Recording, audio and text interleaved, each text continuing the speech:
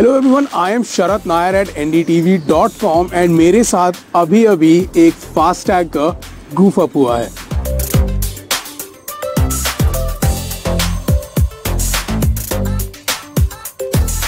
So let me show you कि अगर आपके फास्टैग के साथ भी कोई ऐसा इशू हो तो आपको क्या करना चाहिए।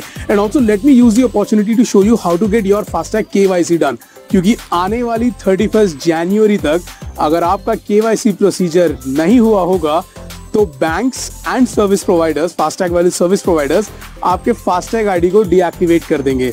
अब चाहे उसमें आपका बैलेंस ज़ीरो हो, ना हो इनफैक्ट उसमें अकाउंट में बैलेंस पड़ा हो, चाहे आप इंडिया के फ़र्स्ट फास्टैग अडॉप्टर ही क्यों ना रहे हो your account would be deactivated so अपना केवाईसी करवाने के लिए आपको विज़िट करना है, अपने बैंक से लिंक फास्टैग की ओरिजिनल नेटिव वेबसाइट को।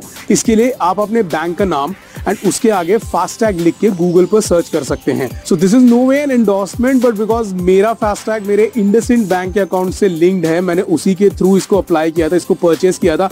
That's why I am showing you through IndusInd bank का मेरा ओन पर्सनल वेबसाइट वेबसाइट में आपको लॉग इन करना है using your registered mobile number उसी नंबर पर इनफैक्ट आपको एक ओटीपी भी आएगा। लॉगिन के बाद ही आपको माई प्रोफ़ाइल सेक्शन में जाना है। यहाँ पर आपको केवाईसी का टैब दिखाई देगा। उस पर क्लिक करें। Required details you have to fill them उसमें आपको आपका एड्रेस प्रूफ डॉक्यूमेंट्स वगैरह ऐड करने हैं। And then just click on submit that is it simple and done so let me use my personal example to show you guys what to do in case you get a false debit as well from your FASTag what happened a couple of days ago is मुझे randomly एक email आया about 145 rupees getting debited at the Agra toll booth, the Yamuna Expressway. Now do note, I drove my car with these two very hands to Bangalore during COVID wave 2. This is around 2021.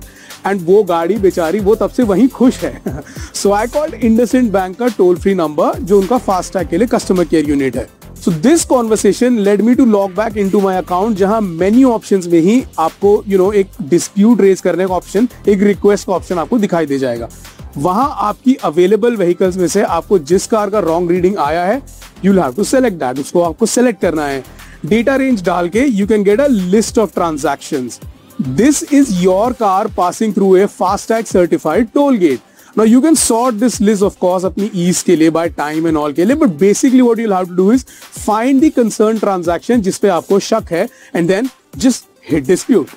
अब आपको एक list of options मिलेगा. It's a long list pretty decently long list जिसमें से you have to select your concern I mean for example मेरे case में it was a vehicle did not pass of course my car is in Bangalore उसके बाद इन cases like this जो आजकल काफ़ी common हो रहे हैं I been reading about it and all you need to submit two photos of your car and इसकी भी कुछ रिक्वायरमेंट्स हैं सो so, एक फ्रंट से होनी चाहिए जिसमें आपकी कार कंप्लीटली क्लियरली विजिबल है with the number plate and all and एक साइड से होनी चाहिए this is probably for them to check security cameras की आपकी कार पास हुई भी या नहीं मेरे केस को और स्ट्रॉन्ग करने के लिए what I did was the photos जो मैंने सबमिट करी थी उसमें मैंने अपनी बैंगलोर की सोसाइटी का जो मेन फेसिया है उसको मैंने बैकग्राउंड में बता लिया।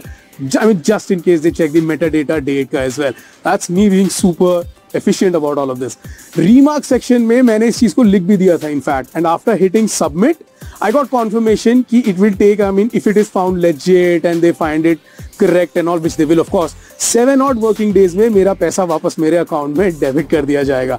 But today is 23rd already. आप में से जिन लोगों ने केवाईसी नहीं कराया है आई डोंट थिंक आप लोगों के पास सेवन वर्किंग डेज़ भी बचे हैं so please be quick about it get your KYC done and then let us know on the email ID कि आप इतना लेट क्यों हो गए?